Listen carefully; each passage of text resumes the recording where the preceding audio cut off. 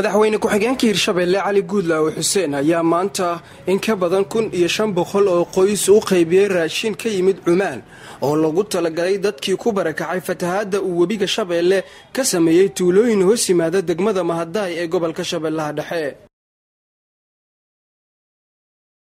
Ay noo keeneen soon furiinkiisa raashin ay noo keeneen iyada iyo qaar kale oo ka tirsan dadkii ka faa'iidaystay deeqdan raashinka ah ayaa ka mahad celiyey sanda cumaan maasha allah inay noo kaalmeeyeen ay noo keeneen soon furiinkiisa raashin ay noo keeneen oo ku mahad celihaynaa inay ilaahay nooga soo qaaday ay ii kanana la soo murugsadeen waa ku mahad celihaynaa inay wax noo keeneen aan ku mahad celihaynaa ile timir waxay noo keeneen bariid waxay noo keeneen bur saliid caano booran sokor timir baasto. Waanu ku mahad celihaynaa sheegaynaa hay'addan cumaan in maanta ay tahay bisha labaatan iyo sagaal inoo keentay raashiin oo cadadiisa uu yahay timir caano booro bur iyo bariis iyo baasto iyo sonkor.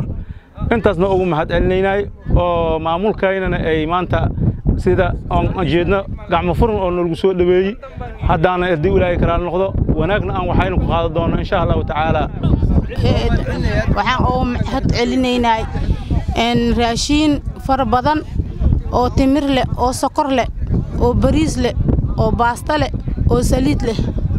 Walaalahayna intaasaan aagu mahad celinaynay. Maamulka hirshabeelle dowladda cumaan waxaad u mahad celinaynay raashinka ayna siisay anakoo ee dadka barakacayaasha biyaha sokorle bariisle baastale saliid. Ujeedka ugu weyn ee bixinta raashinkan ayaa ahaa caawinta dhinaca cuntada qoysaskii ku barakacay fatahaadda webiga shabeelle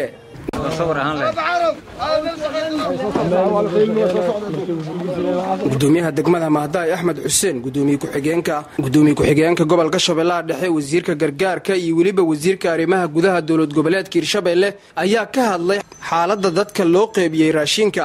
Maanta waxaan u qaybinay raashin tayadiisu aad u sarrayso.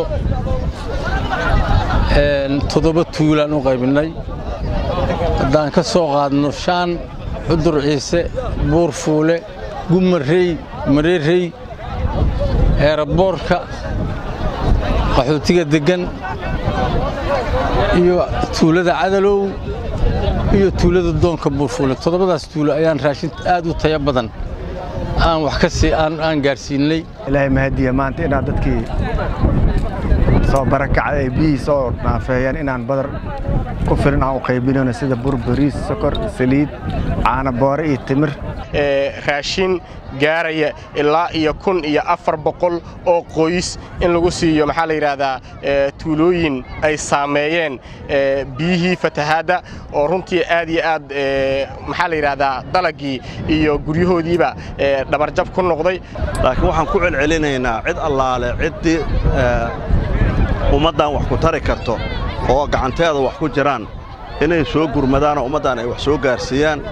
Annagana waxaan ballan qaadaynaa wax allaale wuxuuna soo gaara. Gacan aamina in aan ku qaybinno.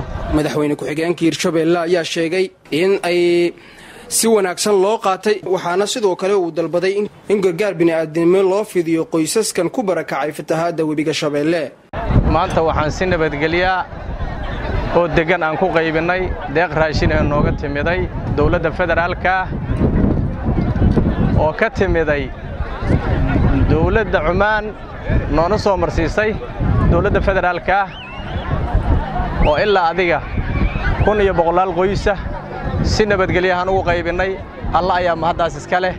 Xaqiiqdii waxaan rabaa inaan u sheego cid kasta ee deegaankan wax soo gaarsiin karto.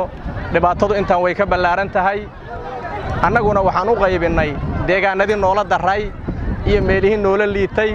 Ayaan u qaybinnay tuulooyinka ilaa shaam iyo xudur ciise buurfuule gumarey mareerey iyo doonka.